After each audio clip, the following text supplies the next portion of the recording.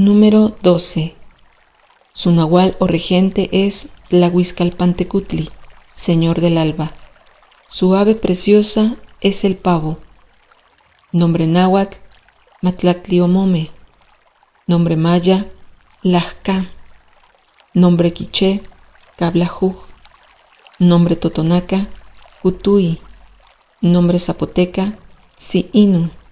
Nombre mixteca, Ushiui. Nombre otomí, Mayojo. El 12 representa la organización, la apertura de nuevos horizontes y la trascendencia. Es neutral con los aspectos positivos y negativos del signo acompañante, pero protege contra las malas influencias.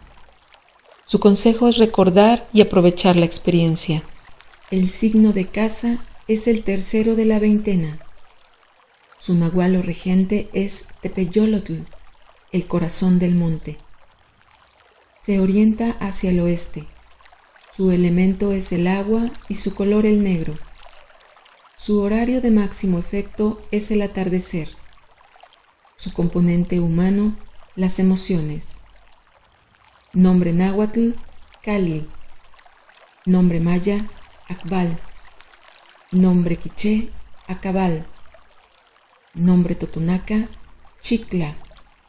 Nombre zapoteca, Chela. Nombre mixteca, Mao. Nombre otomí, Ngu. El signo de casa nos representa a nosotros mismos. Su cimiento es la energía vital, su sótano los intestinos, su tejado la mente, sus habitaciones los estados de conciencia, sus ventanas los sentidos, sus puertas las oportunidades, su patio las emociones. En nuestra historia personal, la casa simboliza el tiempo que permanecimos en el vientre materno y las casas en las que hemos vivido.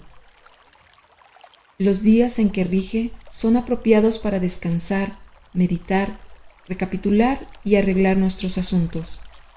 Los nacidos en casa son de naturaleza apacible, introspectiva, reflexiva, serena, servicial y amigable. Su resistencia y solidez les hace aptos para organizar empresas, sostener relaciones, armar un hogar y ofrecer sustento y protección a los demás. Tienen facilidad para la sanación, por lo que pueden ser buenos médicos. En el aspecto negativo, los casa tienden a forzar los límites y transgredir las reglas, a despilfarrar su energía y dejarse llevar por sus pasiones. Consejo tolteca. No te entregues al sueño, no te dejes sugestionar por los sueños. Controla la imaginación y analiza con racionalidad. Atrévete a salir de casa, a probar nuevas experiencias y a cambiar. No te entregues irreflexivamente a tus impulsos sexuales y ahorra tu energía.